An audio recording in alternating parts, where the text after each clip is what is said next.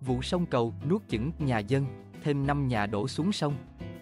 Ngày 7 tháng 4, một lãnh đạo Ủy ban Nhân dân phường Vạn An, thành phố Bắc Ninh, tỉnh Bắc Ninh, cho biết khoảng 2 giờ sáng cùng ngày, tại vị trí từ K49 750 đến K49 800 bờ hữu sông cầu tiếp tục diễn ra sạt lở. Theo đó, có 5 ngôi nhà của người dân đã bị sạt lở xuống sông cầu. Rất may, vụ việc không gây thiệt hại về người. Các ngôi nhà bị đổ xuống sông, chúng tôi đã sơ tán người dân để đảm bảo an toàn nhưng ảnh hưởng rất lớn đến tài sản của người dân. Chính quyền đã ổn định chỗ ăn, ở tạm cho những người dân bị ảnh hưởng, lãnh đạo Ủy ban Nhân dân phường Vạn An nói và cho hay.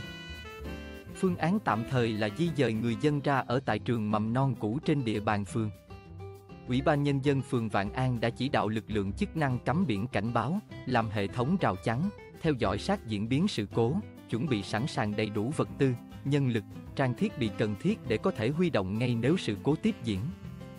Trước đó, Ủy ban Nhân dân tỉnh Bắc Ninh đã quyết định công bố tình huống khẩn cấp về thiên tai làm sạt lở bờ sông cầu đoạn từ K49 750 đến K49 800 D hữu cầu.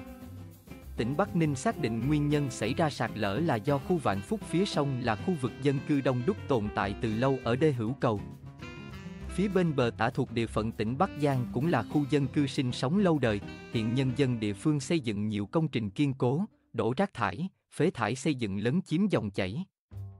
Mặt khác, đoạn từ K49 300 đến K49 800 là điểm bắt đầu của tuyến sông Công về địa phận tỉnh Bắc Ninh nên sự biến đổi dòng chảy tại khu vực này trong những năm gần đây đều rất mạnh gây ra sạt trượt tại nhiều vị trí. Tháng 10 năm 2023, khoảng gần 80 m bờ sông thuộc đê hữu cầu đoạn từ K49 190 đến K49 430 đê hữu cầu bị sạt lở. Khu vực bị lún sâu nhất so với mặt đất hiện trạng từ 0,5, 1, 2m, đe dọa cuộc sống, sinh hoạt của 17 hộ dân. Ngày 3 tháng 3, đoạn từ K49 750 đến K49 800 đê hữu cầu bắt đầu xuất hiện một số vết nứt nhỏ và có xu hướng phát triển thêm. Ngày 8 tháng 3, khu vực sạt có chiều dài 50m, ăn sâu vào bãi sông từ 5 đến 10 mét đã làm sạt toàn bộ công trình phụ của ba hộ dân xuống sông. Đến ngày 14 tháng 3, sự cố tiếp tục phát triển và làm sạt lở toàn bộ ngôi nhà hai tầng của anh Nguyễn Văn Cường xuống sông. Vụ việc không có thiệt hại về người.